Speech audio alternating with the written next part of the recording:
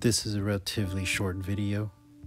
I have some samples as you can hear in the background pre-modification. These are my settings. As you can see, they are kind of varied. I'm going through a Les Paul Classic with a Diezel VH4 two channel high gain pedal and a phaser through the effects loop. The gain setting is relatively low, about 9 o'clock or less, as the tube runs hot and will give a buzzy sound when overdriven.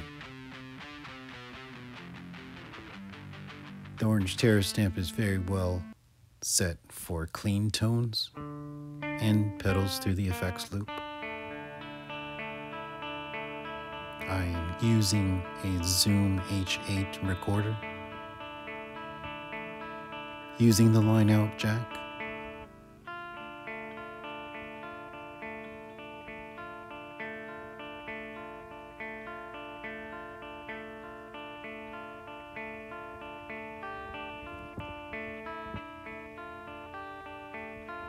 The mod itself is pretty simple. Just remove the four screws, which is pretty easy unless you don't have a screwdriver that is small enough to get leverage on it.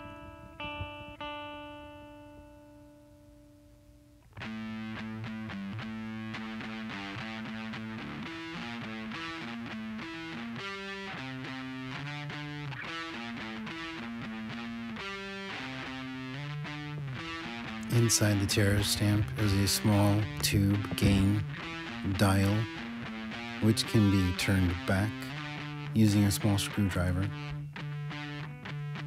It's pretty small.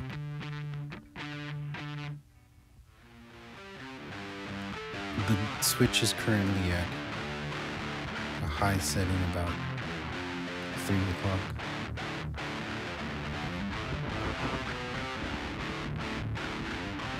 Now you're hearing the modified orange terror stamp. Just the gain setting it high.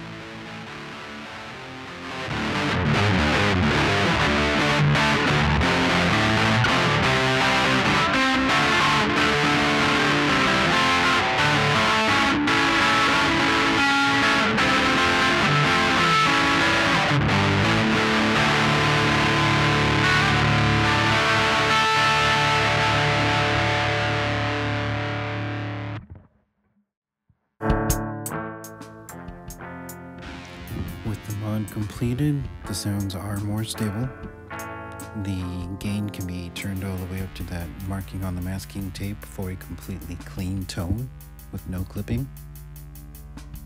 Also, you can turn the amp all the way up and really experience the tube uh, gain.